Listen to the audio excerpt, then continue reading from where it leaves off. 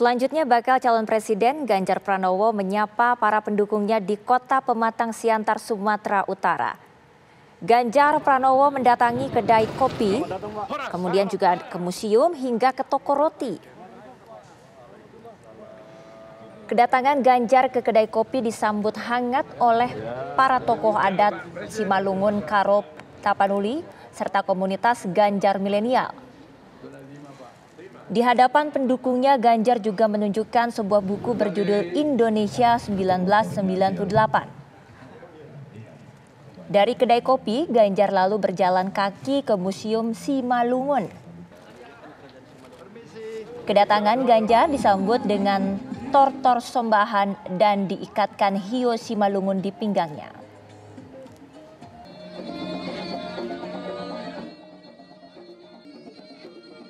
Sangat uh, baik, ada tariannya, tadi ada sombah ya, sombah, sombah, persembahan gitu ya, persembahan ya, dan saya dikasih Hio, Hio Pamoting, namanya. dan ternyata saya baru tahu cara pemasangan pun berbeda, ada yang diselempangkan, tapi ada yang diikat.